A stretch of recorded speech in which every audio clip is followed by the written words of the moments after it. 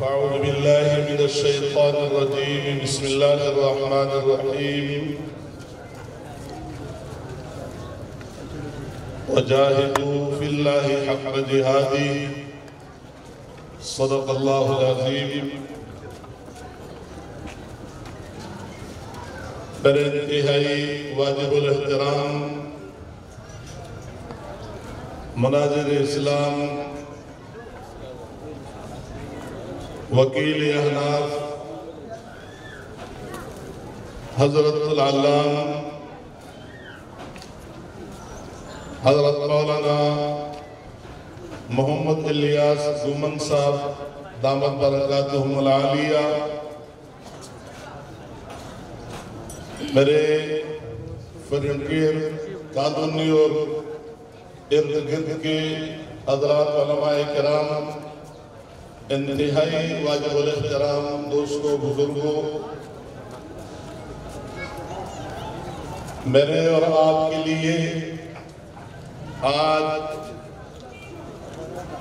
کا یہ موقع، یہ وقت انتہائی قیمتی اور باعث سعادت ہے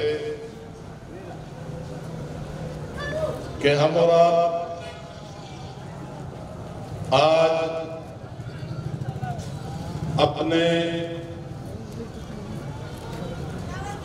اس عظیم الشان اور محبوب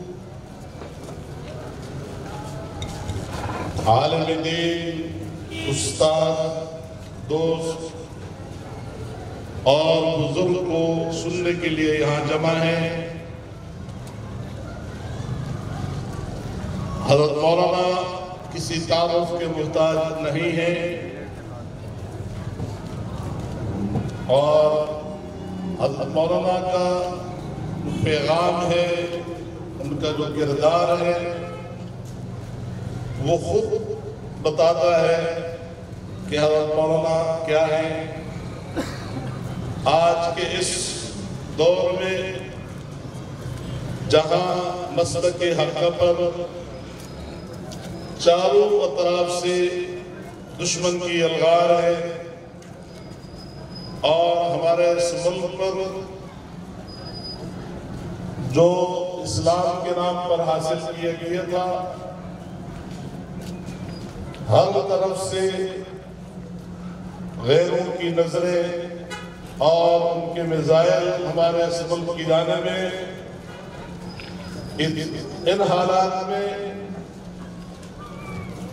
حضرت مولانا کا کردار بہت بڑا کردار ہے۔ یہ بہت بڑی دعوت لے کے چلے ہیں۔ اور صرف یہی نہیں کہ صرف کراچی، پنجاب یا پاکستان کے دوسرے حصوں میں آپ کو اندازہ ہوگا کہ حضرت مولانا کے پورے مہینے کی ترتیب قائم ہے۔ پورے سال کے بارہ مہینوں کی ترتیب قائم ہے کہ پاکستان میں کتنا عرصہ رکنا ہے اور باہر کے ممالک میں کتنے دن، کتنے عرصے گزارنا ہے۔ اور یہ سارا کام یہ اس دعوت کو عام کرنے کے لیے ہے۔ جس طرح ہم، الحمدللہ، دعوت و تبلیغ سے ہمارا تعلق ہے، تو وہ بھی دعوت ہے اور یہ بھی دعوت ہے۔ تو اہل حق کے نمائندے اور زبان بن کر پوری دنیا میں حق کی آواز پہنچا رہے ہیں۔ اسی طریقے سے جہاں حضرت مولانا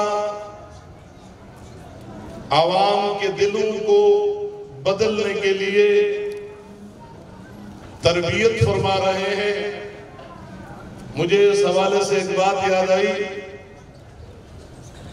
جب ہم ہم سب کے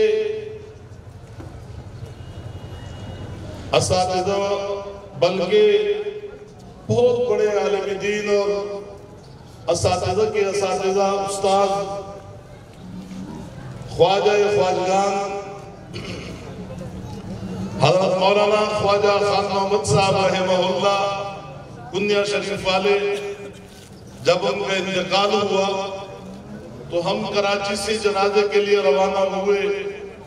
ایئرپورٹ پہ جہاز جہاز میں ہم جب بیٹھے تو اس جہاز میں آپ یقین کریں، میں نہیں کہہ سکتا ہوں کہ علماء اور دیندار لوگوں کے علاوہ، پگڑی ٹوپی کے علاوہ بہت کم کوئی قدر کا انسان نظر آ رہا تھا۔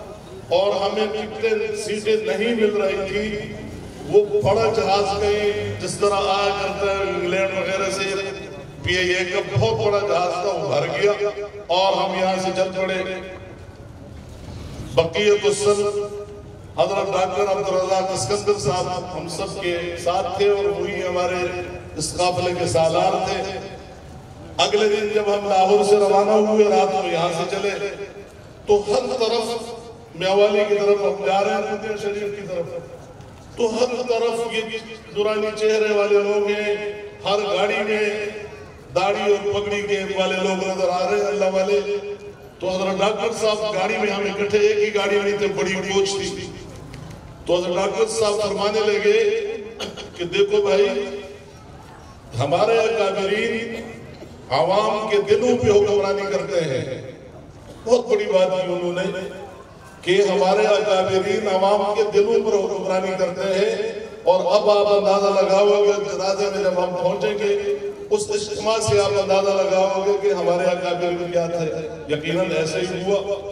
کئی میلوں پر مشتمل حضرت کے علم میں ہے کہ اس کھیت میں جب وہاں جنازے کا اجتماع تھا تو کئی میلوں پر مشتمل تھا۔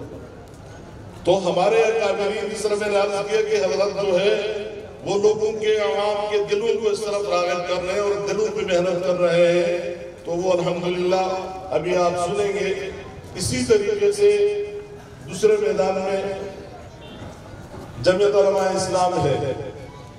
کیونکہ میں بات تو لمبی نہیں کروں گا ہم نے حضرت ہی کو سننا ہے۔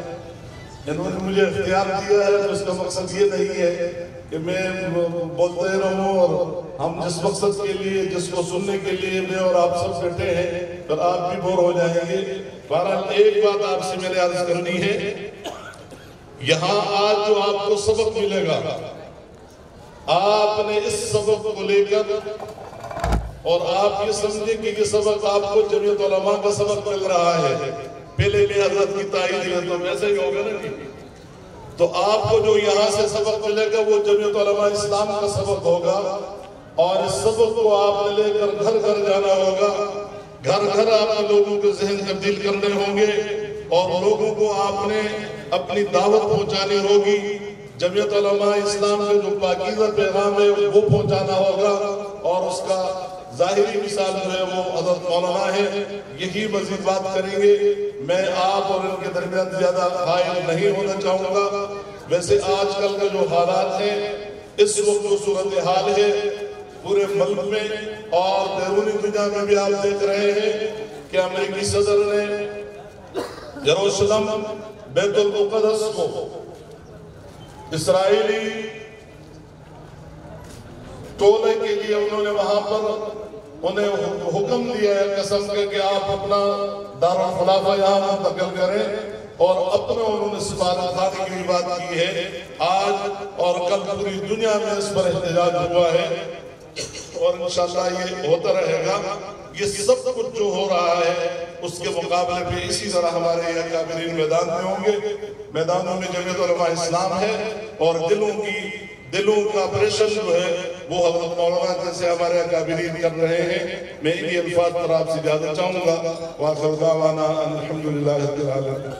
لا إله إلا الله لا إله إلا الله ما لنا رب سوى لا إله إلا الله لا إله